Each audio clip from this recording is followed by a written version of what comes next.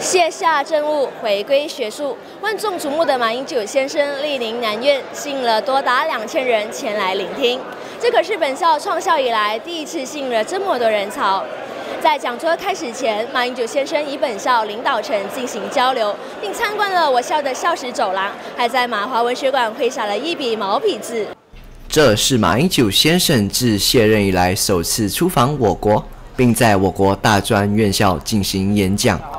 马英九先生的魅力无法挡，在还没抵达我校之前，已经吸引大批学生聚集于本校大厅，为了就是目睹马英九先生的风采。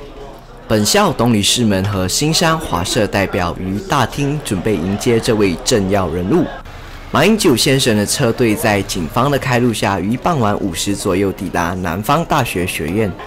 马英九先生在抵达本校之后，先与本校高层进行闭门会议。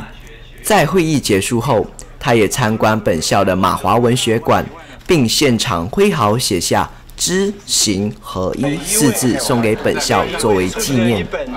之后，他在董理事们和华社代表的陪同下，到智雅大礼堂前方，为“知行合一”石碑进行揭幕仪式。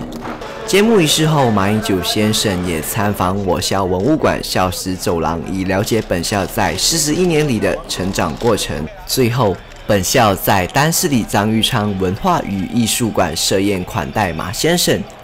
晚宴同时，马先生也为马来西亚关怀教育基金进行开幕仪式。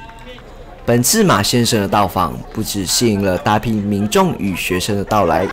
更吸引了国内外多家媒体前来采访。南方电视台黄慧仪、潘淑贤、梁德耀采访报道。